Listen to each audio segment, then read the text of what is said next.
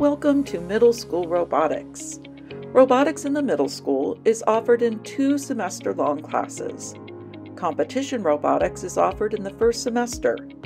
Students in this course form the Husky Robotics teams, which represent Flint Hill in the first LEGO League Challenge competition.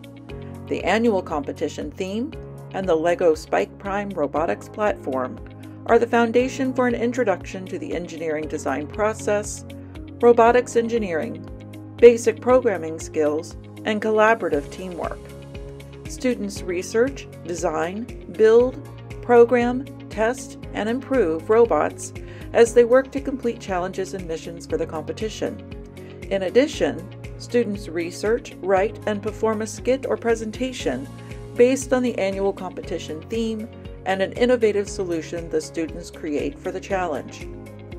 During the competition, usually held on a weekend day in late November or early December, the robotics teams take part in timed robotics trials and share their innovation project skits.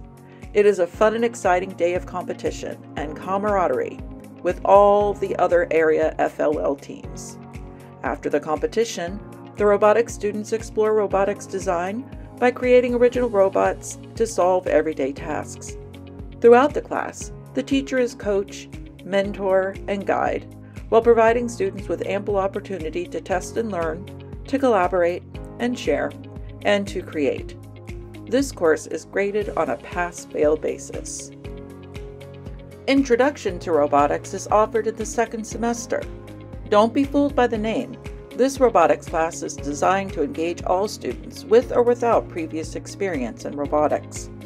During this class, students learn and apply both the engineering design process and basic programming skills to design, build, and code functional robots. While solving challenges with code, students deconstruct problems and plan out logical solutions, including variables, syntax tools, conditional statements, and loops. Instructional time is given in short chunks, where direct instruction and modeling are interwoven with hands on learning. This course is graded on a pass fail basis.